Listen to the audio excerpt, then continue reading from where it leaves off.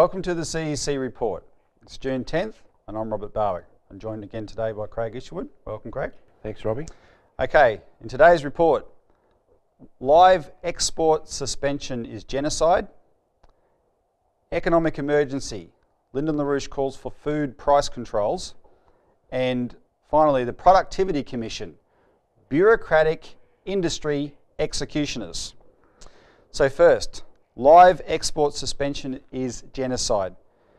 In the past few days, many people in Australia's cattle industry have foreshadowed the strong likelihood of a wave of suicides among cattle producers in Australia as a result of the Gillard government's decision to suspend live cattle exports to Indonesia for the next six months.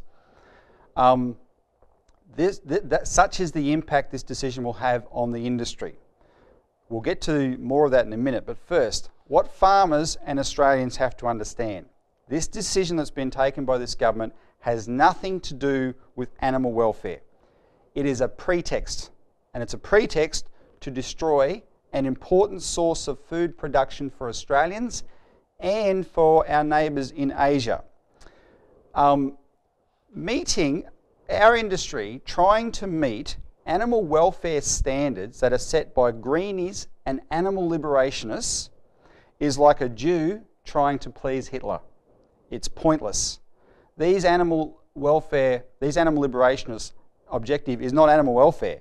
It is to get rid of any um, uh, animal agriculture entirely, get rid of all live exports to anywhere in the world of any animals, etc. That's their objective, and that's what the um, uh, that's the force that the government has uh, responded to, uh, for the public's benefit at least, in terms of shutting this industry down. Um, it's important to have a bit of background. The live export of cattle from Australia initially started as a free trade policy. And as such, it started to undermine Australian processing and therefore, in principle, wasn't a good thing.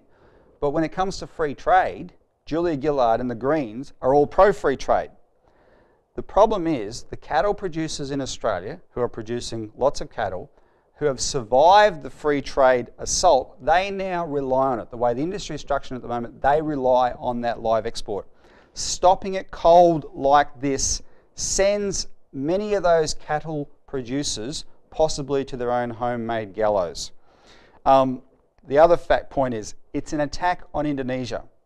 Now, Indonesia is a big, a country with a big population, but a lot of very, very poor people who, as Bob Katter points out, 80 million go to bed hungry. They are trying to raise their living standards. They, they need a food source to do that. They have come to rely on these live imports of cattle for a big part of their protein.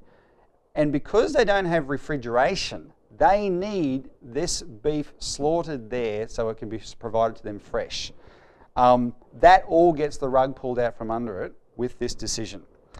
Uh, Craig, you've released an, an important statement today, which is, people can see on our website, that this act is the latest example of Julia Gillard and the Greens implementing the British Crown's orders for genocide. It doesn't get much more transparent than this, does it? No, it doesn't, Robbie. Look, we've talked about it on the past that this government is a Fabian Society based government. Julia, Julia Gillard is a member of the Fabian Society the guy that's been boasting on television that he caused the ruckus in the caucus to get this ban, Kelvin Thomson, is a past president of the Fabian Society. The Fabian Society represents a movement coming out of the post uh, Lincoln period uh, of the United States, where you had Lincoln defeating the Confederates and a huge burst of optimism around the fact that uh, uh he promoted policies to develop the United States through the Transcontinental Railroad and so forth. The Fabian Society was created by the British Empire directly to, uh, to shatter, to stop any sort of development for a nation whatsoever. Because isn't it true, one of the things that they explicitly saw was that Lincoln's industry and infrastructure policies enabled a, a big jump in population in the United States. That's the heart of the issue because at the at the base of this is what we've talked about a lot on this program because it is the governing issue for the world today. It's population reduction. Kelvin Thomson wants to keep Australia's population around the 22 million, 26 million mark, I think it is. No more, no more by, by the year 2050. That's a policy of genocide, right? Gillard has come out with the Sustainable Population Ministry. The intention here is what people have to look at and have to look at very clearly that this is an intention to stop population, to, to actually genocide is what it is. And the, the very fact that you can just wipe out an entire industry from the stroke of a pen, literally, like uh, Ludwig's done, is typical of the meanness of this government. Now, what has to be done is simple. We have to have a debt moratorium point blank right now for all family farmers in this country, regardless of the, the issue, this particular issue with the uh, live export.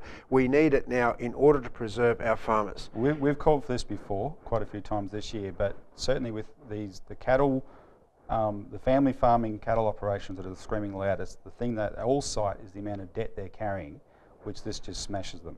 Yeah, and uh, look, the debt, as you said before, they've, they've modelled their industries as best they can around the free trade agenda, which is a disaster to start with. But the problem is they've also, because of the debt, you know, they're in, they're in, they have to go to the banking system. And the banks have these things called material ad, uh, adverse event clauses in their contracts. So if you've got a farmer that's come out of drought, like we've had in this country, that's had trouble, you know, in the last 10 years, now producing for a live export market, that market's cut off. The bank's going to say, well, I don't know how you can survive. This is a material adverse event. Shut them down. That's intolerable because the very policies this government has been promoting has now destroyed the livelihoods and possibly the people from the, the, the mooted increase in uh, suicides. That policy is a killer policy and it has to stop. We have to have a debt moratorium for all family farmers. So, I mean, this, this policy gets to the heart of the actual political issue for all Australians. This is the meanness of this Fabian Society government. This is population control.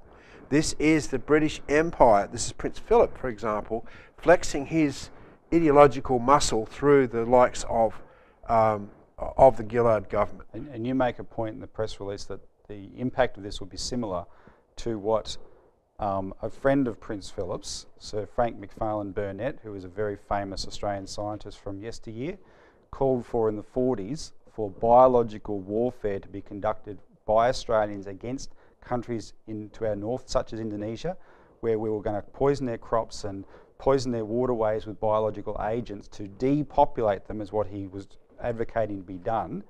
Well, isn't the um, uh, impact of this policy, where we just cut them off from a major food source, going to have the same effect. Yeah, because look, protein is absolutely essential for the development of the human body, and we don't have enough protein in the world today. So the idea of getting rid of people is to reduce the protein intake. As you said before, Indonesia has a huge population. They need more protein. We can supply that protein, and that's what our, our mission should be, to supply that protein. However, the intention behind this current policy is we don't want people. Yep. Um, just on this, we have references on our website to uh, the uh, initiatives that people have come up with, such as the deep tropical agricultural practices that can turn the top end of Australia into a very productive place for developing beef, etc. You can look at it on our website those are the kind of initiatives that could be the opposite of this kind of uh, you know genocidal intention. Look that up and get involved in what we have to do to make sure this gets stopped. I think, Robbie, also one last comment I really want to, to say is in terms of this free trade agenda, right? Because if you had a government that wasn't committed to free trade, the policy you would have would, one, would be one of collaboration right? Instead of having these market for forces dictate what happens in foreign countries, you would go and you would have a government-to-government arrangement whereby we would support uh, a vigorous increase in the physical economic infrastructure of those countries. And therefore the trade would be governed government to government. So instead of blaming the very industries that are trying to make a living, right, the government, which is a very good excuse by the government, you have a government that actually goes in and says, okay, we want to create the framework for a decent meat trade, a very good meat trade, which is controlled for the benefit of increasing production in our own country, but also so that we can make sure that we maximise the uh, amount of meat that can, that can go into Indonesia, right? And that's a government to government issue, right? And that's what we don't have in our country. Everything is hands off, let the free market do it, and then when, when things go wrong, you blame the free market. And of course, you have the farmers and the producers that are caught in this who have no, uh, who are trying to exist as family farmers in this system, and they just get absolutely smashed. And we're going to see more and more and more of this as people, you know, put their faith into a free market system. When that whole system is disintegrating under a global and financial uh, disintegration of the monetary and financial system. So, I mean, we're getting to the pointy end of the stick here in terms of economic policy, and people really have to wake up and say, okay, well, what are the parties that are supporting this policy? Well, every single major political party supports this policy, except the CEC. And we have the track record. 20 years we've been fighting against this, and now people have to say, well, hang on, if we don't want to survive, uh, if we don't want to starve to death, then they're going to have to su support us. And that's going to be uncomfortable for some people because the very axioms that have allowed this mess to happen with the live trade export is, the, is going to happen in many other industries around Australia. All right, thanks, Craig. When we come back, we're going to discuss the economic emergency and Lyndon LaRouche's call for food price controls.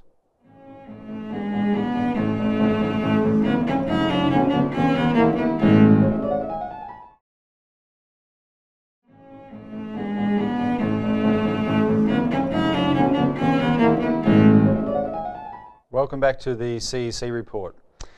So now we're going to discuss the economic emergency and Lyndon LaRouche's call for food price controls.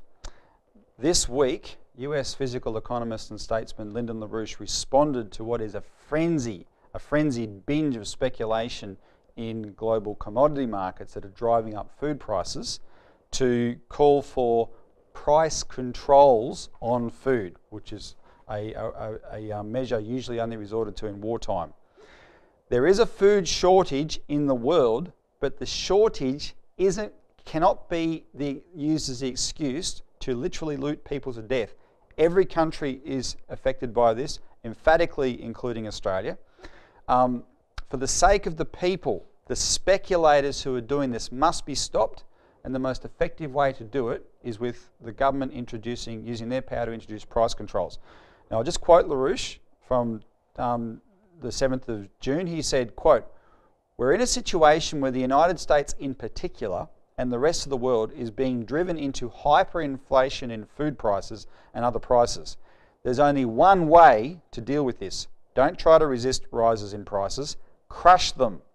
You go to controls because there's no reason, because of a shortage of food, to raise the price. And if somebody wants to do that and makes an argument, well, you've got to do it because there's a shortage. We've got to make a buck, you know. You say, no, you go to jail, is where you go. And we need immediate price controls. This is going back to what Franklin Roosevelt did under appropriate circumstances. That was under wartime conditions, but we're under combat conditions right now in terms of food supply, in terms of the conditions of life out there in the field. Now, that's the end of LaRouche's quote. As well as what Roosevelt did in America and the United States, um, price controls were used in Australia by uh, John Curtin and Ben Chifley during World War II.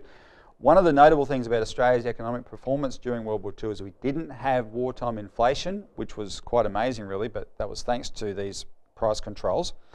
Um, in terms of the speculation, for decades, literally decades, you've had the, the major cartel companies like Cargill, Continental, Bunge, Louis Dreyfus, Archer Daniel Midland, etc.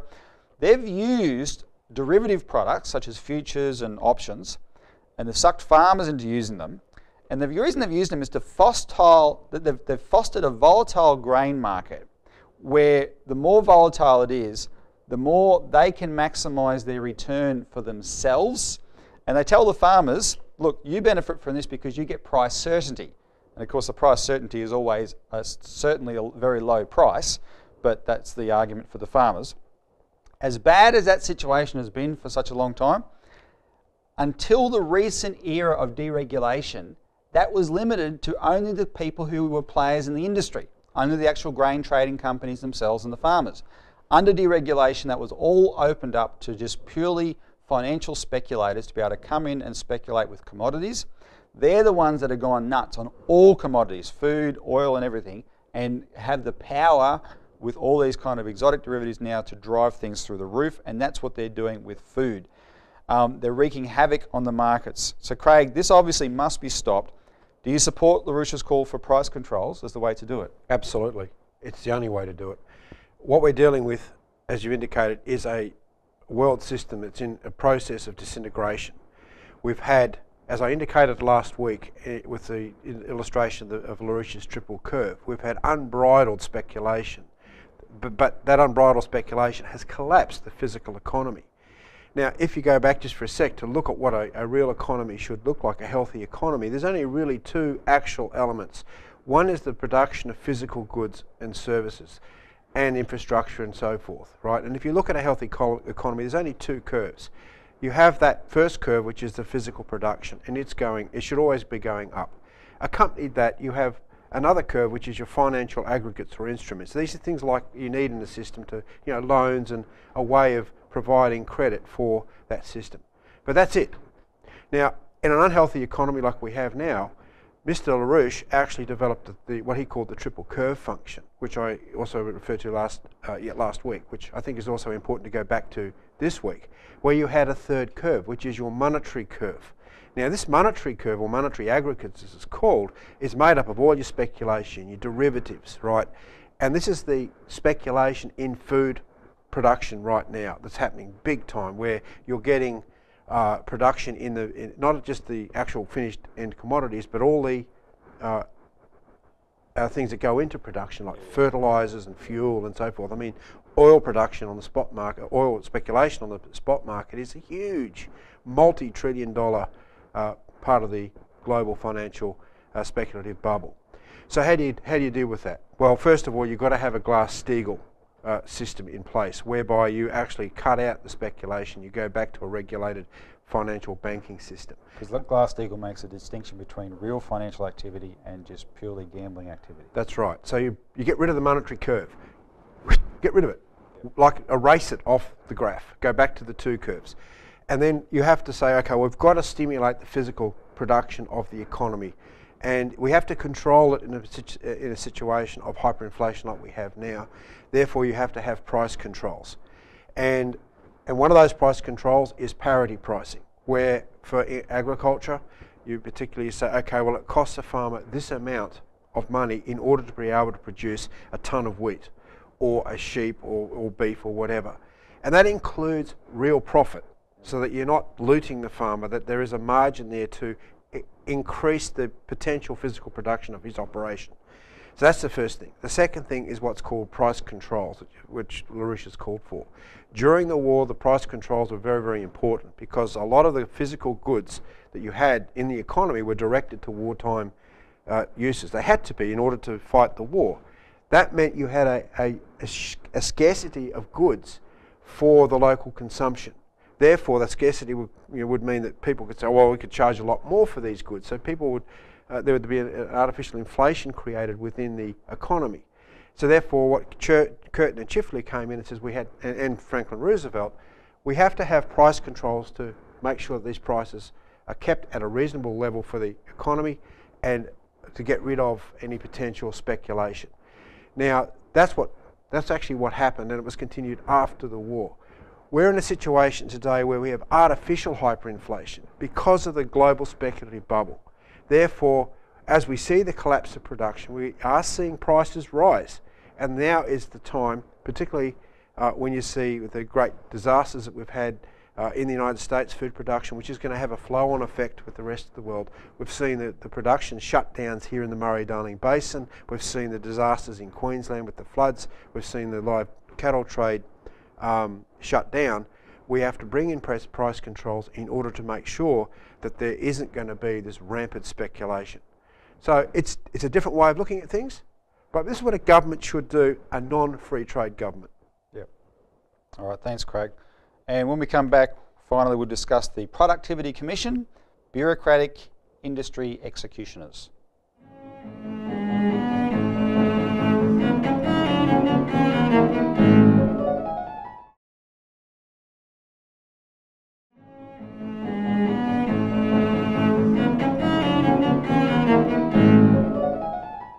Welcome back. And finally, let's talk about the Productivity Commission, bureaucratic industry executioners. So here's the breaking news of this week dogs chase cats, trees grow leaves, popes are Catholic, and the Productivity Commission has found a carbon price is the best way to combat global warming. So, this is more than a joke. Politics is a charade. Tony Windsor has seized on this Productivity Commission report this week as if it's an important confirmation. When everyone knows, any, anyone who knows anything about politics knows the Productivity Commission was always going to say that. Who is the Productivity Commission? Well, this is a sad story. This is a body that has, that has evolved over the last 40 decades, sorry, four decades, from being originally the Tariff Board. Now, as the Tariff Board, its job was to foster industry in Australia by using tariffs to make sure we had the industries we needed. It then became the Industry Assistance Commission. By the 90s, it had turned into the Industry Commission. They dropped the assistance part out deliberately because by then assistance was not on the agenda. And then under John Howard, it became the Productivity Commission.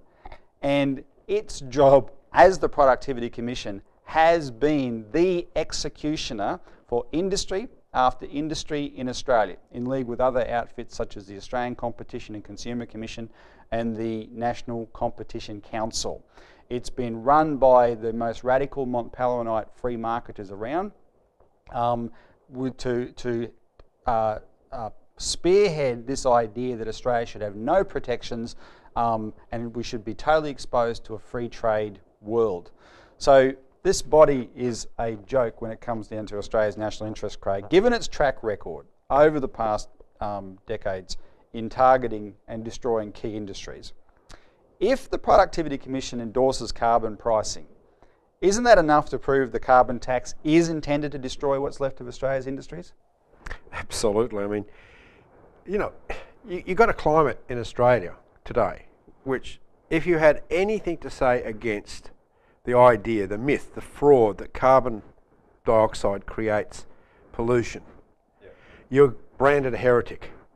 And I have these visions of the Spanish Inquisition, right, and the torture rooms. But you couldn't be burned at the stake because that would produce carbon. Well, so that's, that's, the that's, problem. That's your let off. And burning human beings would produce carbon too. So that's that's a bit of a problem. Pro- a problem. So when you have these instrumentalities like the ACCs, you know, uh, coming up with these recommendations, you've got to think, well, you know, it's really a government institution, right, that's sponsored by the government, it's wholly owned by the government, that operates in this political system, which is completely and utterly dominated by this fanatical carbon pollution rubbish. Going to speak out? Of course not. It won't. No government department's going to raise its head. They can't. They can't criticise the policy of the government. And as we're found as a political party that's putting out material all the time and in con consultation with other people that try and speak out, you are regarded literally as a heretic. You, know, you are the, um, and it's a religious debate. There's no discussion of the real science, right? Which means the fact that there's even the argument or even the perception that there's no discussion proves there's no science because science itself is the discussion about observations in the universe that create paradoxes. And that's really the strange thing, is that when you, the, the fraud you see is that when the spokesman for the whole carbon debate, whether it be this organisation or Tim Flannery or whoever come out and say the science is settled, you know, this is the best thing for the economy, you know it's a blatant lie because there's no debate. And one thing's for sure, none of this report is going to convince the 75 or 80% of Australians who know it's rubbish. So that's it for this week's weekly report. Um, as usual, look on our website for the backup material. Make sure you get involved with us. Call us 1 800 636 432. We are winning this fight, um, but our industry is in a future's at stake. So stay tuned for next week.